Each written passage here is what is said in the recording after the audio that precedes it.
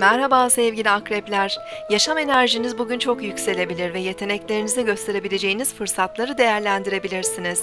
Oldukça çekicisiniz ve romantik ilişkilerinizde keyifli zaman geçirebilirsiniz.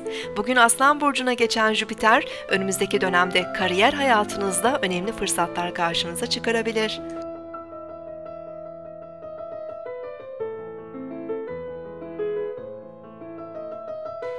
Bugün 16 Temmuz 2014 Çarşamba, Merkür günündeyiz.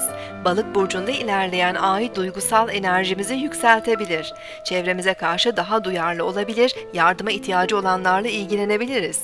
Hayal gücümüz ve yaratıcılığımızı sanatsal çalışmalarda verimli olarak değerlendirmemiz mümkün.